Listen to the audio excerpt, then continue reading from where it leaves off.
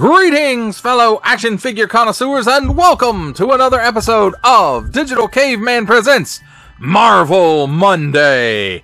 I, as always, am your host, the Digital Caveman, and today I will be presenting you with the Marvel Legends series, The Blob. Let's get into it!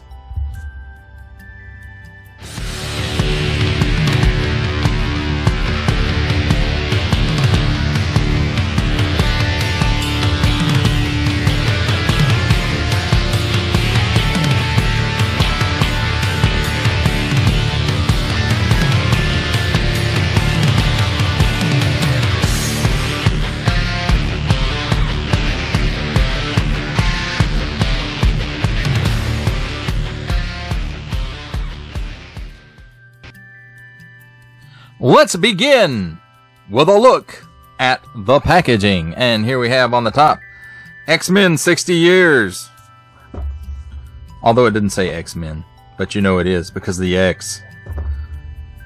On the front, Marvel's The Blob, Marvel Legends series, a nice digital render that we've been seeing for a while of The Blob, and then some comic artwork behind him. Four and up, assortment number. Warning! Don't stick things in your pie hole that do not belong there. X-Men. Plastic free packaging. Except tape and glue. Hasbro print. On the bottom, small print, pound print, legalese print, made in China print. Symbols I'm not going to learn. A barcode. Another plastic free packaging reminder. Except tape and glue. Whatever that is includes one figure and three accessories. Is it food? Marvel Legends series, and again, nice digital render of Frederick Dukes. And then on this side, some comic art of the Blob. Marvel Legends series at the bottom there, and on the back, Marvel Legends series, Marvel's the Blob again nice digital renders does tell you he is 8 and 8.34 inches or 21.2 centimeters. I'm not sure what that is. Attention! Don't stick things in your French pie hole. Warning, attention, not clone! Don't stick things in any other language pie hole either. Because that's bad. Don't give it to babies, that is also bad. Recycled marble print Hasbro print, and whatever that small stuff is. That, my friends, is a look at this big old package.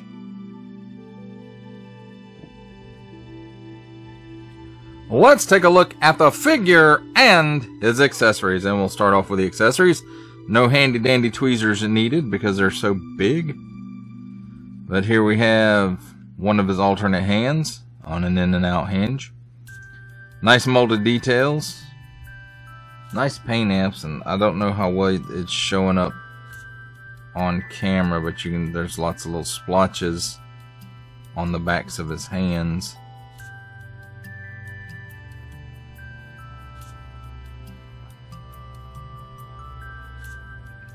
And same holds true for this one, which is a fist in and out hinge. Nice paint apps or overlay or well, not overlay. Overspray. Probably more of a tampo. But again, nice molded detail in and out hinge and the painted spots. So that's pretty cool. Here's the alternate head, and I will use the handy dandy tweezers on this one. It's the screaming head. He's got some freckles going on. Nice molded detail. He's got his pie hole all opened up, ready to eat some stuff. Actually, he's just screaming because Wolverine just stabbed him in the butt with his claws.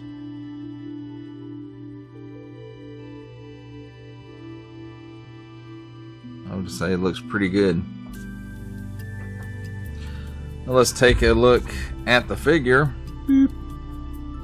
And again, nice head sculpt. But you can see it's two different haircuts going on.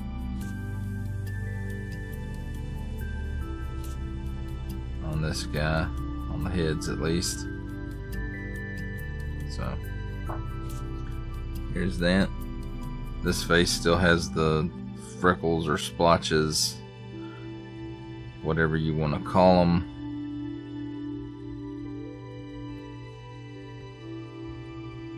Nice molded detail. Where that come from? And moving down, he is quite blobby.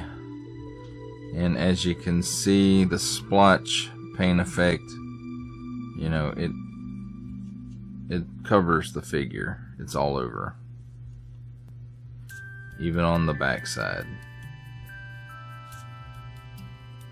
So, very nice looking.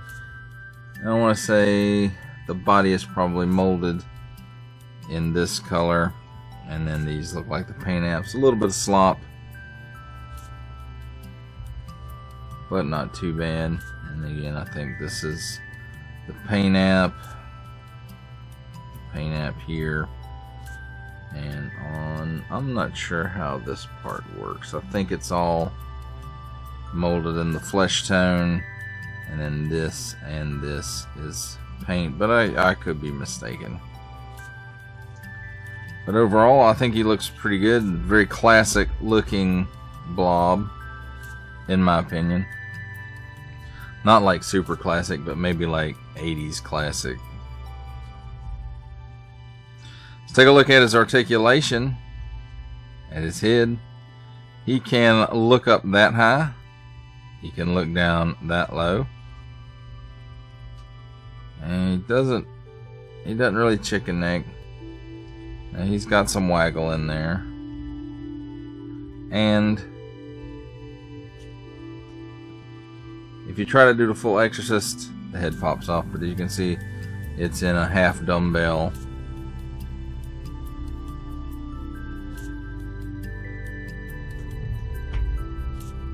So no no exorcist for the blob. At the shoulder, comes out to approximately 90 degrees. Does have a 360 degree rotation there. Pinless hinge and swivel at the elbow. Swivels around a full 360 degrees. And gives you approximately a 90 degree bend 360 degree rotation at the wrist on an in and out hinge, and the other side in and out hinge as well.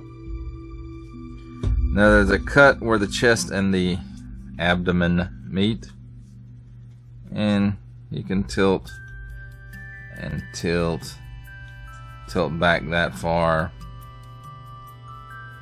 tilt forward that far and it does give him a 360 degree rotation there. And nothing at the waist and I can understand that with this figure. At the hips he can give you that much of the splits.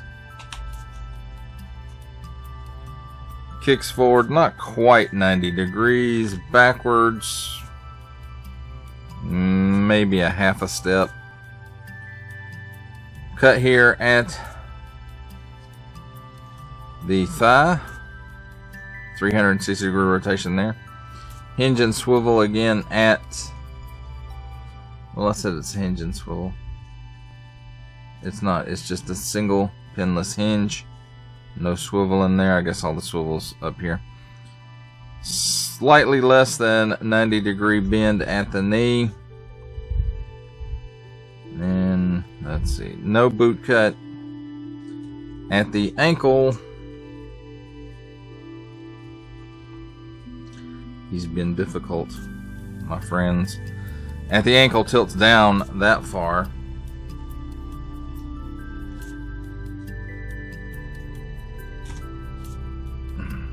Goodness. Tilts up that far. And forward facing pin for rocker.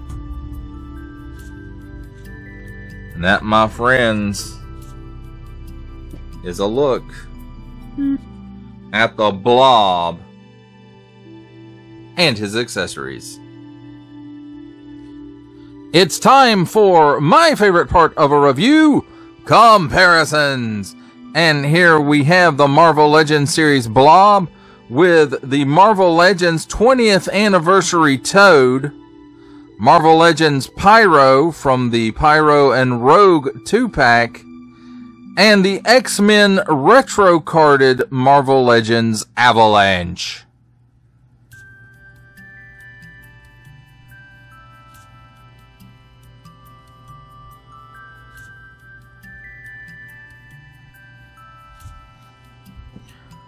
For our final set of comparisons, here we have in the back row the Marvel Legends series Blob with a 7 inch scale comparison from the Masters of the Universe Masterverse line, the 40th anniversary He Man.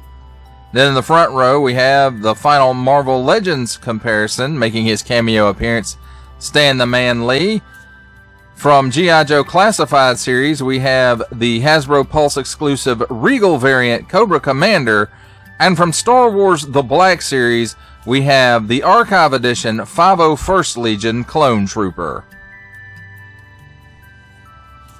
For final thoughts on the Marvel Legends series The Blob, I have to say, I, I do think this is an improvement over at least what I've seen of the Hasbro Build-A-Figure Blob from a while back, a good while back. And I, I don't own that figure, but I have seen pictures of it. This one looks tons better. To me, this is the really the classic look for the blob. I like the paint apps on this guy, especially like the splotching. I think that I think they did a really good job on that. Now I know there's some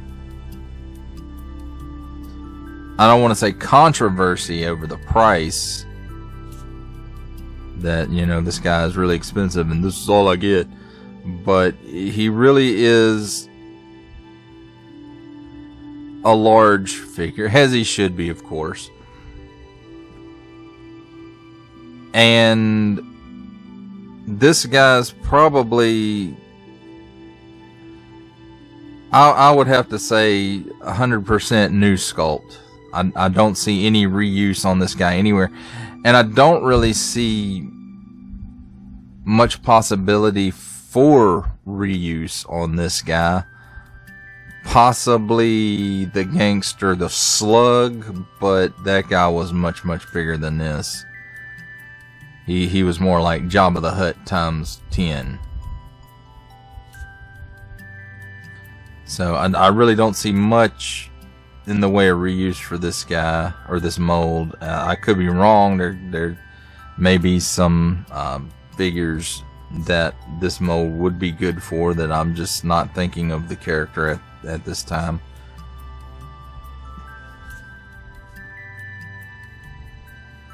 But again, you know, I, I think it's a really good figure. Would have like maybe some more hands or something to go with it, or maybe another different head. Yeah, that would have been nice for the price point.